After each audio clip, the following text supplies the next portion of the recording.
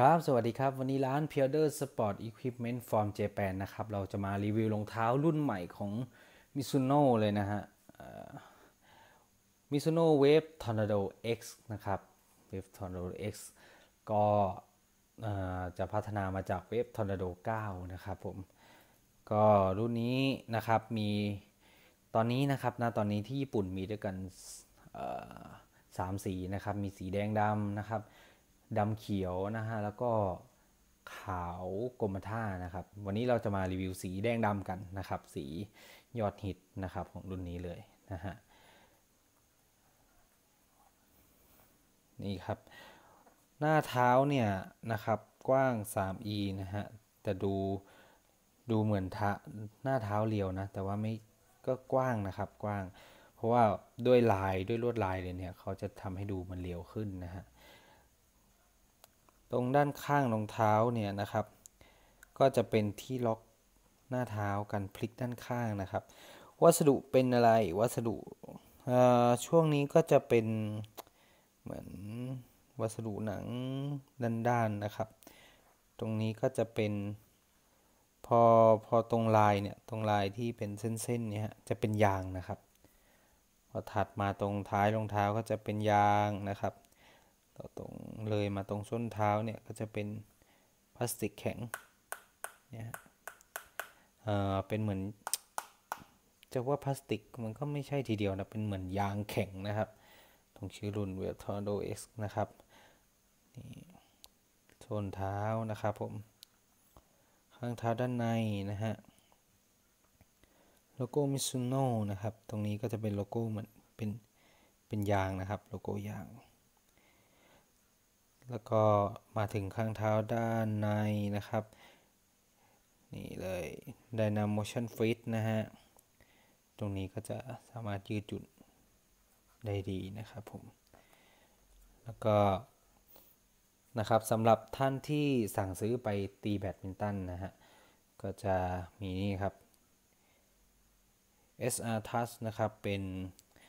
วัสดุใสๆเป็นเหมือนยางนะครับ ช่วยลอง เวลาเราสไลด์เท้าตรงนี้นะฮะนี่เลย ตรงนี้ก็จะ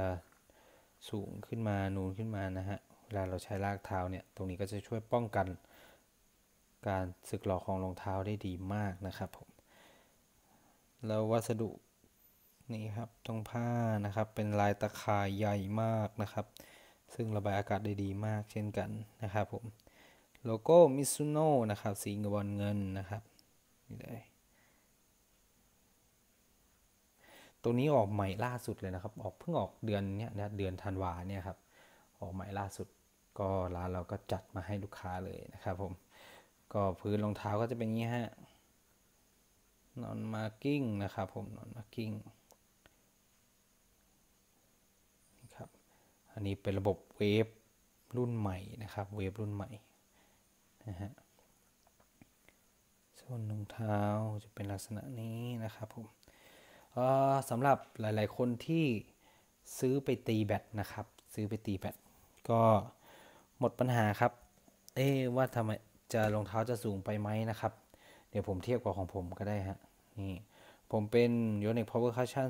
02 JP นะครับทำไมถึง JP นะครับ เพราะว่า 02 ตัวนี้จะไม่มี LTD นะครับ ของ JP จะไม่มี LTD ที่อื่นจะเป็น LTD หมด นะครับผม เรามาดูส้นรองเท้ากันดีกว่านะครับว่าเป็นยังไง เอาส้นชนส้นเลยดีกว่า นี่นี่ฮะ จะเห็นได้ว่าเท่าเท่ากันเลยครับ ไม่สูงไปกว่ากันแน่นอนนะครับนี่นิดหนึ่งนะครับ นี่เลย นี่เลย เท่าเท่ากันเลยนะครับ เท่าเท่ากันเลยนะฮะ ความสูงของพื้นนะครับผม ตัวยูนิคจะที่ยูนิคดูสูงกว่า เพราะว่าพื้นยางเขาหุ้มขึ้นมาสูงนะครับ แต่จริงๆแล้วพื้นเท่ากันนะครับเนี่ยดูตรงข้อเท้านี่ก็ได้ก็เท่า ๆกันนะครับผมก็หมดปัญหาสำหรับท่านที่ซื้อไปใส่ตีแบตนะครับ กลัวรองเท้าจะสูงไปหมดปัญหานี้ได้เลยนะครับผม ก็วันนี้ร้านเพียวเดอร์สปอร์ตอุปกรณ์ from Japan นะครับ ก็ขอจบการรีวิวนะฮะ Mizuno Wave Tornado X นะครับ สีแดงดำ Japan Edition นะครับ เดี๋ยวคลิปหน้าเนี่ยเราจะมารีวิว ตัวหุ้มข้อนะครับ ตัวหุ้มข้อรุ่น Wave Tornado X เนี่ยฮะแต่เป็นหุ้มข้อนะครับผม ก็สำหรับคลิปนี้ Tornado X นะครับ ก็ขอจบการรีวิวแต่เพียงเท่านี้ครับ ขอบคุณมากครับ